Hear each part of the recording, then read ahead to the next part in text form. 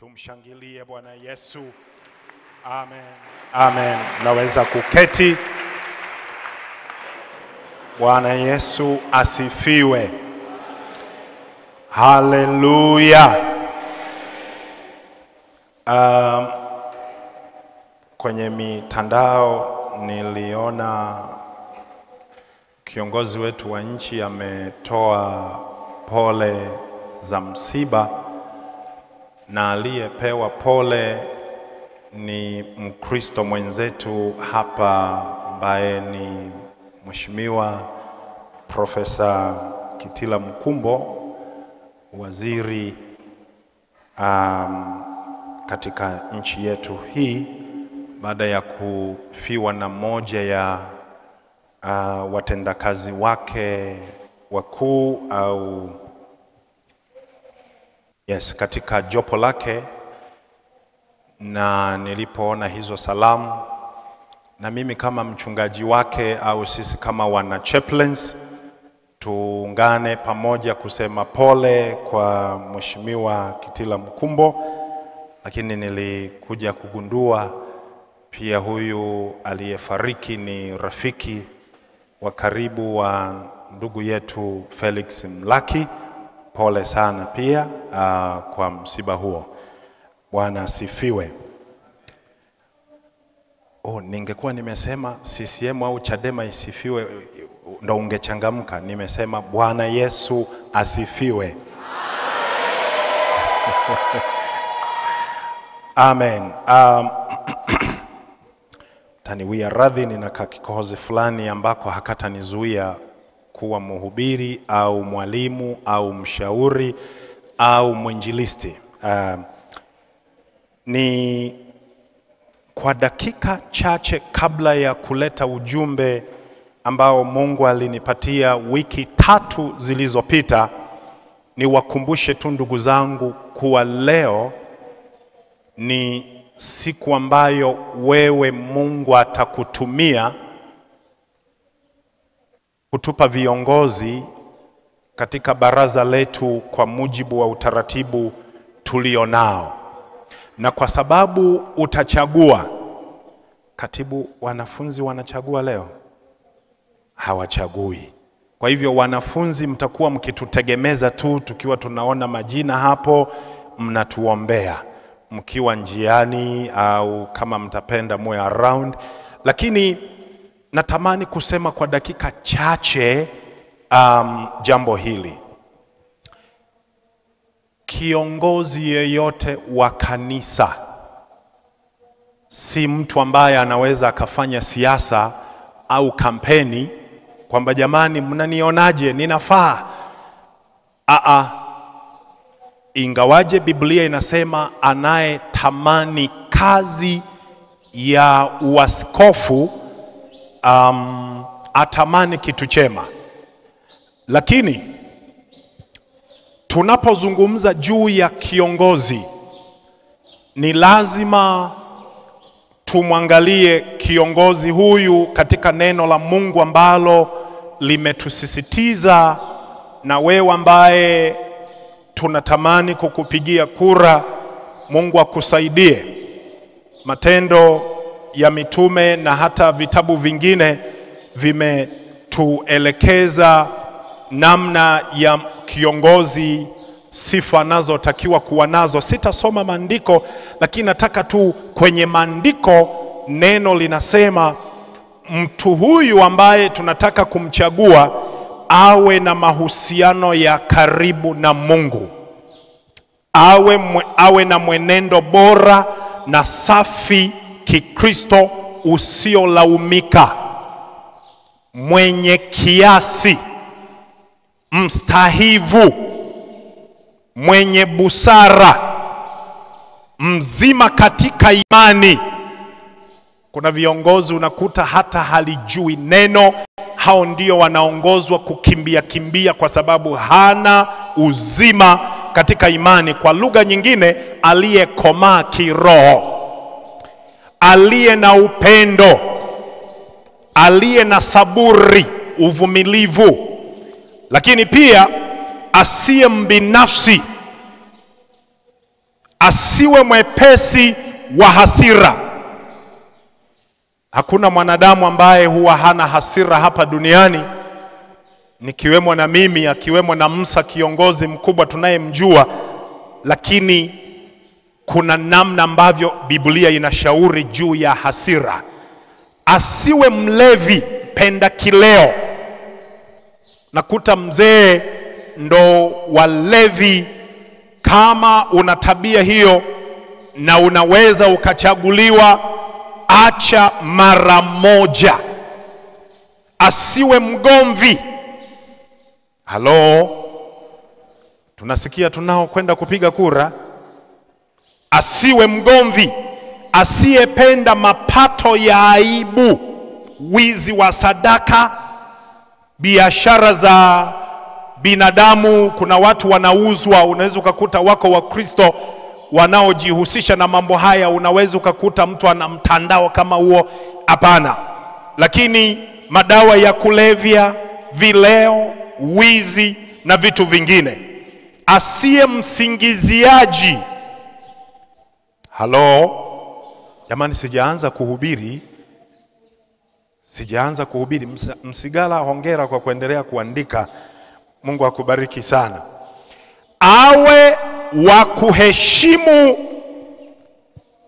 ndoa Sorry. ndoa yake kama yuko kwenye ndoa, mwenye kuwatunza watu wa nyumbani mwake. Kikuta mzee, watu nyumbani wanalia, hawajala, hawajavishwa, na si kwamba hana pesa, kuna shida mahali. Kwa hivyo awe mtu wa kuwatunza wa nyumbani mwake, mwenye kufundisha na kudhibiti watoto wake wasiwe wa kulaumiwa. Bwana asifiwe. Namalizia kwa kusema tunaokwenda kuwapigia kura, awe mkaribishaji, sio mchoyo.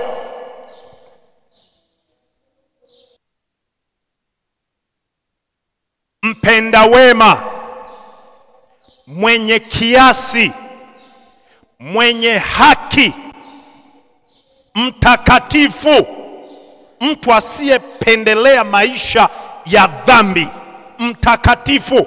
Kuna arguments ziko huku duniani leo, hivi kweli duniani kuna watakatifu? Tuko na wewe, fanya bidii kuishi maisha yasiyopenda dhambi. Haleluya! Mwenye kudhibiti nafsi yake, mtu wa utaratibu, ni mfano na shahidi wa kweli wa Bwana Yesu, mwenye kulishika neno, mwenye uwezo wa kuonya, kufundisha na kuwafundisha eh, na kuwashinda wenye kupinga. Kuna watu wataalamu wa kupinga mambo ya familia, mambo ya kanisa. Huyo tunayemchagua awe na uwezo wa kuwashinda walimu wa uongo na wapingaji. Tunataka tuwe na mradi huu. Hey, pesa ziko wapi? Tunataka tufanye maombi. Hey, hey, kila siku maombi. Uwe na uwezo wa kupinga watu wa namna hiyo. Ah, ni lazima um, jambo hilo na nikuage katika eneo hili kwa kusema awe ni mtu anayefundishika. Kuna wazee unamchagua, unamwambia e, e, hivi itakuwa hivi. A, a, mimi ninachojua ni hivi, yaani yeye anavyojua ni hivyo, na uwe mtu wa, awe mtu wa kufundishika, lakini anayekubali mabadiliko mazuri. Kuna watu they are so rigid katika mambo yao vile wanavyojua, na ndo anasimama huyo ndo kiongozi wetu. A, ah. Viongozi tunaotamani kuwa nao wawe ni watu wanaoweza kufundishika na kubadilika, sio kutuambia miaka ya zamani tulikuwa hivi. Hapana, hatupingi mambo ya zamani, lakini lazima uwe unakubali kuweza kufundishika. Bwana asifiwe. Naomba tupigie makofi maneno haya na sifa za viongozi.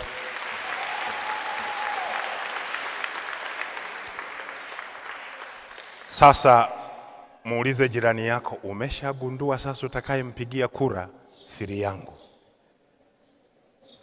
Amen, amen, amen. Kwa dakika chache, wiki kama tatu zimepita tukiwa mahali tukiwa tunaomba, Mungu akawa amenipa ujumbe huu, lakini hasa kukwambia wewe, mwaka wa kwanza, wiki lijalo tutazungumza tena na hasa ile tarehe ishirini na tatu, lakini nataka kukua, kukukaribisha na wewe ambaye ni continuing student, wewe uliye mzazi, wewe uliye mhadhiri, mtumishi wa vyuo vyovyote tulivyo navyo, um, uh, vyuo vingi tunavyolea, natamani kusema jambo hili. Mwaka wa kwanza ambaye ni yuko hapa anajiamini asimame, mwaka wa kwanza na amekuja na Biblia kanisani, aliyekuja na Biblia mwaka wa kwanza. Haya, kimbia hapa, uje na Biblia yako. Mpigieni makofi huyu mwaka wa kwanza. Naomba mwandalie microphone. Bwana asifiwe. Tena naomba upande hapa, mheshimiwa. Kitu kimoja nitagombana na wewe, urefu kidogo usinizidi, sawa? Angalau komea komea hapo, sawa? Bwana asifiwe. Mnamwonaje jamaa? Kaenda hewani. Haleluya. Unaitwa nani mheshimiwa? Naitwa Daniel Godfrey Livingstone. Hebu rudia tena. Danieli Godfrey Livingstone. Huyu tukimpeleka TBC tutamweka kitengo gani? Amen. Bwana asifiwe. Amen. Sasa unatokea wapi? Uh, where are you from? Natokea mkoa wa Kilimanjaro. Kule kwetu. Ndio. Amen. Hayo makofi ni ya watu wa Kilimanjaro au Mbeya?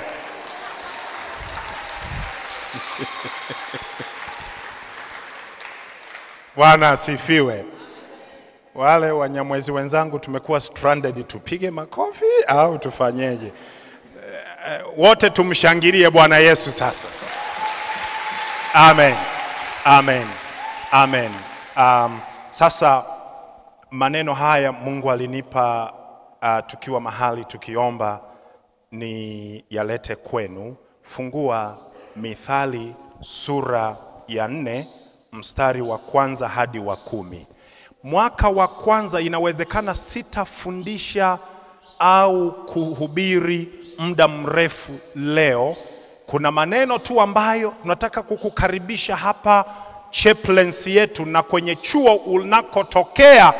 Sikiliza haya maneno yawe mtaji kwako na wewe unayeendelea kwako wewe mzazi na wewe mwanandoa, fanya biashara. Mithali nne moja hadi kumi tusomee kwa sauti hiyo murua kabisa. Mithali mlango wa nne mstari wa kwanza hadi wa kumi, nayo inasema: Wanangu, yasikilizeni mausia ya baba yenu, tegeni masikio mpate kujua ufahamu, kwa kuwa nawapa mafundisho mazuri. Msi, msiiache sheria yangu, maana nalikuwa mwana kwa baba yangu, mpole, mpenzi wa pekee wa mama yangu, naye akanifundisha akaniambia, moyo wako uyahifadhi maneno yangu, shika amri zangu ukaishi. Jipatie hekima, jipatie ufahamu, usiusahau, wala usiyakatae maneno ya kinywa changu. Usimwache, naye atakuhifadhi, umpende, naye atakulinda. Bora hekima, basi jipatie hekima, naam, kwa mapato yako yote jipatie ufahamu. Umtukuze, naye atakutuku, atakukuza, atakupatia heshima ukimkumbatia. atakupa neema kuwa kilemba kichwani na, kuki, na kukukirim, kukukirimia taji ya uzuri. Mwanangu, sikiliza na kuzipokea kauli zangu, na miaka ya maisha yako itakuwa mingi. Amen. Amen. Makofi kwa Bwana Yesu. Danieli, Mungu akubariki na hongera kwa kujiandaa vizuri kuja ibadani. Uko smart, Biblia unayo, naamini na sadaka unayo. Amen. Ubarikiwe sana. Basi um, uko hosteli gani? Magufuli. Amen. Kuna mpango baraza viongozi tuligusia mahali wanaoishi Msewe kule, kuwe kuna gari linaenda sijui na wapi, mtakamilisha huo mchakato. Kuna watu hawaji badani wakiwa na sababu zao, basi tunashukuru Mungu. Sijui kama Magufuli nayo iko huko into consideration, lakini eh, yatawekwa vizuri. Natamani kusema hivi, karibu katika ibada yetu hapa CCT, na kirefu cha CCT ni Christian Council of Tanzania. Kiswahili chake ni Jumuiya ya Kikristo Tanzania, na tuko hapa zaidi ya madhehebu kumi na mawili ya Kiprotestant, lakini hiyo haimaanishi hatuwezi tukawa na Wapentekosti, hatuwezi tukawa na Waislamu wakaja kusali kila mmoja, lakini jumuiya ya Kikristo Tanzania um, imetengenezwa na madhehebu hayo, lakini kila mmoja mwaka wa kwanza nenda kakaribishe mtu yeyote.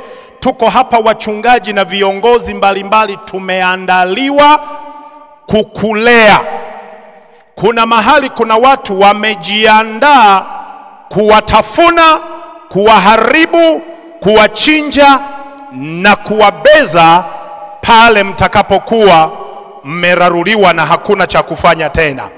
Kwa hivyo tuko hapa kukuchunga, kukulea, kukusaidia holistically. Bwana asifiwe.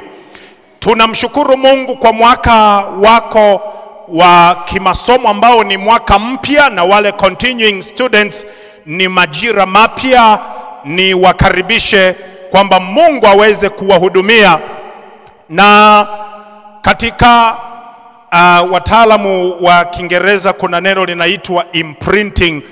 Uh, unapo print kuna kitu ambacho kinaweza kika kikatoka vile vile ulivyokusudia. Sasa hii maana yake um, imprinting ni ile wanasema marking au establishing uh, as a certain relationship to any creature especially human being. Kuna namna unavyoweza ukahusiana na mtu ambaye ameletwa kwako ili aweze kufanana na wewe kwa namna unavyotaka awe. Serikali imewatuma ah, ah, serikali ni ya pili. Mungu kwanza akaitumia serikali. Serikali nayo siyo yote, kwenye eneo la elimu wakakupanga, umekuja hapa. Usiitazame serikali ndo ya kwanza. First God aliyekuleta hapa, na kwa sababu amekuleta hapa, amekukutanisha na sisi wengine umetukuta warefu, wafupi, wenye mili mikubwa, wembamba, wakimbiaji, watembeaji, watu tun... umetukuta tuko hapa. Bwana asifiwe. Sasa tunatamani ufanane nasi katika eneo ambalo Mungu amekusudia. Ndege anapototolewa, kiumbe anayekuwa hapo karibu, sikia ndege anapototolewa, kiumbe yeyote anayekuwa hapo karibu, huyo ndiye atakayefuata. Sikilizeni, sitakuwa na muda mrefu, lakini kama mama atatotoa halafu akajitokeza monster mwingine au li, lijitu, hawa watoto kwa design ya namna ambavyo uh, nature yao ilivyo, watakuwa inclined kufata huyu aliyepo. What am I saying?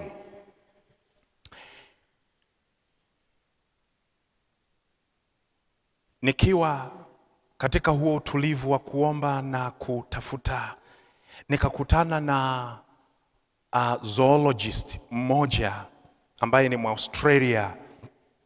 Yeye alipokuwa akifanya utafiti, alifanya utafiti kwenye um, ndege wawili geese na ducks, na katika utafiti wake aligundua ya kwamba ndege wanapokuwa wametotolewa, alichokiona ukaribu, bondi itatengenezwa na yule aliyetotoa, lakini ikitokea kuna kitu kingine kimekuja, huyu ndege, hawa ndege, hawa watoto wataform attachment au bondi kwa hicho kitu ambacho kimejitokeza hapo karibu.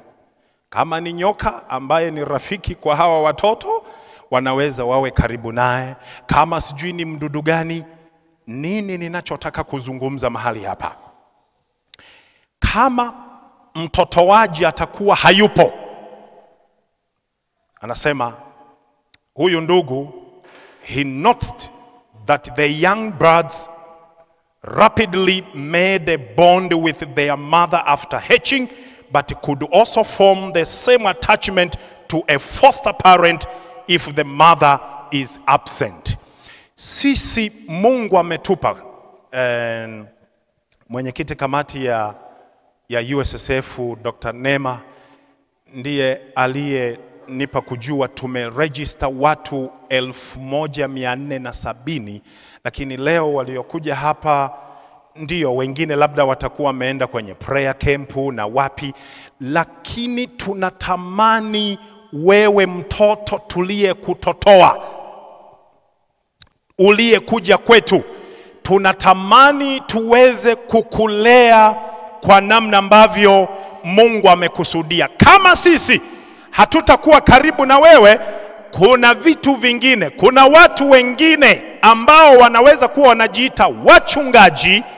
By the way, nina simu nyingi zinazo mchungaji, tunaweza tukaja tukashirikiana kulea watoto vijana. Ukisikia sound amini, uh, sound yenyewe au toni yenyewe, lakini doctrine unashangaa. Kuna watu wanatafuta watu waweze kuwa nao karibu kwa, ma, kwa, kwa, kwa faida yao wenyewe, sio kwa ajili ya Kristo. Kwa hivyo mwaka wa kwanza, naomba muwe wahubiri wa kwanza. Nenda mkawaambie, ukikutana na mwanafunzi mwenzako, hata kama ni continue, mwambie let's go somewhere. Wako wachungaji committed ambao wamejipanga si kuturarua, isipokuwa ni kutuelekeza kwenda mbinguni. Sema amen, sema amen. Kwa vile Mungu amekuleta hapa CCT Chaplains, anayo makusudi ya wewe kuchungwa, kufundishwa, kushauriwa, kuongozwa ili uwe na kile ambacho Mungu amekusudia katika maisha yako. Kuna mtu amenisikia hapo? Nikiwa likizo, baba mmoja wa mwanafunzi mmoja, sijui kama yupo, akanipigia simu, mchungaji, nimeona simu yako, ninakupigia um, na, na aliponipigia akaniambia nina mwanangu hapa, nataka nimkabidhi kwako. Nikamwambia sawa. Sasa ilikuwa siku ya Jumatatu, the eh, office ilikuwa imefungwa. Nilichokifanya nikatafuta msaidizi wangu wa kwanza, anaitwa Elizabeth, Bwana asifiwe. Nikampigia simu mama mchungaji, kuna waheshimiwa wako pale, nenda ukaonane nao. Yule baba akahakikisha nimeongea na mwanaye akiwa na mke wangu, na yule baba ndo akasema sasa ninaweza kurudi nyumbani. Wazazi wanatuamini, sio wazazi tu, Mungu aliyetuweka, aliyeniweka, aliyetuweka collectively na vipawa vyetu tulivyo navyo, anatamani tuwalee. Lakini nataka kusema wako watu watakuja wakikutafuta wewe. Kuna mahali saa zingine utaambiwa sisi hatuko chini ya wachungaji. Wachungaji ni akina nani? Come on, nataka kukuonya mtu yeyote asiye chini ya mchungaji, yeye ndiye mchungaji na kukaribisha tuketi, tutembee pamoja, tufundishane, tuonyane, tuelekezane, tutiane nguvu, tule wali pamoja na tuende mbinguni. Sema amen, sema amen. Mungu ametaka, eh, ame, ame, ametukabidhi maisha yako au future yako, kama utakubali kuwa sisi tunaweza. Kuna kitu Mungu anatamani afanye maishani mwako. Na Mungu kutupa future yako, bado na wewe una asilimia nyingi za kusababisha unafika mahali pale Mungu amekusudia. Mtu mmoja akasema, the best way to predict your future is to create it. Future yako pamoja na kwamba sisi tupo, lakini wewe unatakiwa ufanye bidii katika hilo, na huyu ni Abraham Lincoln. Um, ni kwamba maisha yako ya leo, maisha yako ya leo inategemea na vitendo vyako, choices zako, unafanya nini, ndivyo vitakavyotengeneza future yako. Your today's actions and the choices can shape your tomorrow. Hapa chuoni, naelekea kumaliza. Hapa chuoni tuna utajiri wa watu wazuri. Makofi kwa Bwana Yesu. Watakatifu na wenye maadili mazuri, lakini pia hapa chuoni, nisiseme tuna utajiri, tuna wingi wa watu wachafu wa tabia, watenda maovu na watu wasiomwogopa Mungu. Mbele yako unapewa nafasi, ni nani umwelekee, ni nani umsikilize. Your today's actions zitadetermine your future. Sikiliza mtu wa Mungu, sikiliza mtu wa Mungu. Watu hawa wote wako mbele yako, na wazuri wanaweza wasionekane kama wazuri, kwa sababu shetani anayo tabia ya kusogeza vitu vyake kwa haraka ili yaweze kuharibu. Sasa be careful, ukiwahiwa hapa chuoni, hata vyuo vingine, kuna watu wanaingia huko, wana mission zao, wanafanya vitu vyao, unaweza ujiingize kule, uwe makini. Ninachotaka kusema ni hivi, ninachotaka kusema ni hivi, Mungu akusaidie kuwa committed kwa Mungu. Mungu akusaidie kuwa goal oriented, wewe uliyefika hapa. Na haya mengine tutafanya uh, tutafafanua wiki lijalo na tarehe ishirini na tatu, lakini kuwa focused, sensitive. Na kitu kinachoitwa self control. Natamani kukuaga kwa kusema hivi, Mungu wa neema atatudai roho yako. Kwa hivyo sisi hatutacheza kukuhubiri, kukufundisha, kukuonya na yote, lakini pia wewe uwe mwinjilisti wa kuleta watu wengine, ili tuweze kuwa na safari ya pamoja katika maisha yetu. Bwana asifiwe. Simama mahali ulipo. Naomba mshike mkono jirani yako, Mshike mkono jirani yako, kanisa lote mshike mkono jirani yako. Najua hakuna COVID, labda kama kuna mtu aje anipe taarifa kwamba COVID ipo. Um, ukiwa umeshika mkono huyo mtu, hebu naomba umwombee, awe ni baba, mama. By the way, mwaka wa kwanza inawezekana umeshikana mkono na mwalimu wako au umeshikana mkono na HR wa UDSM au maji au ardhi. Kwa hivyo mshukuru Mungu kwa kushikana mkono na huyo mtu, ni wa thamani sana huyo mtu. By the way, inawezekana umeshikana mkono na mchumba wako ambaye atakuwa mme wako au mke wako. Sasa ukiwa umeshika mikono namna hiyo, funika macho, omba kwa ajili ya huyo mtu.